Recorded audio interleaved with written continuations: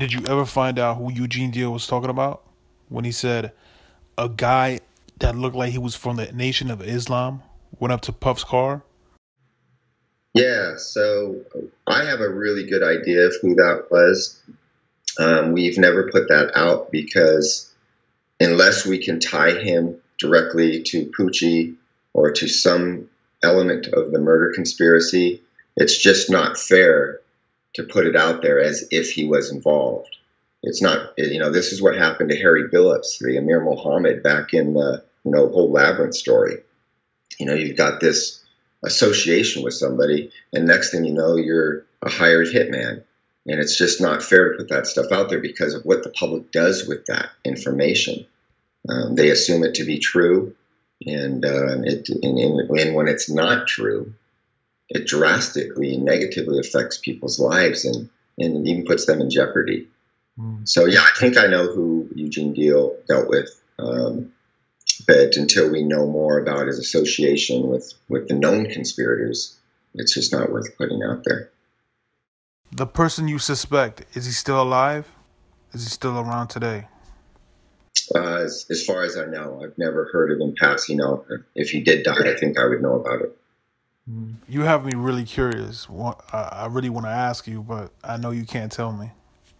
Yeah, I couldn't. It's just not fair to him until until we have facts connecting him to it all. Mm. Is it something you pursue, or you just left it as it is? You know, I don't. Uh, if a person was involved, they're certainly not going to admit to me under these circumstances um, that they were involved. You know, of course, when people aren't involved, they're happy to tell you they're not involved. Um, but you keep in mind, I'm a retired cop. I have no, you know, investigative authority um, to to put people into situations where they're compelled to tell the truth.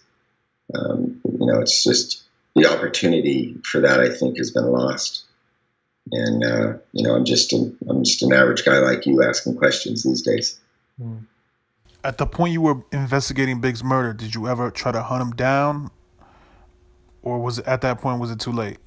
Well, we knew who it was during the when I was still conducting the investigation, and we did uh, we did some we did surveillance and uh, we did phone records and we did a very thorough, comprehensive um, investigation to try to find a connection, and we didn't. And that's not to say that there wasn't one; it just wasn't one that we could see based on our research. And uh, and knowing this individual who's closely associated with Suge Knight, um, it wasn't like he was ever going to sit down and admit to his involvement if he was involved, unless we had something over his head. Very much like Keffe D. You know, Keffe D had already said, "I don't know nothing about nothing," until something's hand, you know, until it, there's a looming threat over his head. Um, you know, sometimes you don't get to the bottom of it.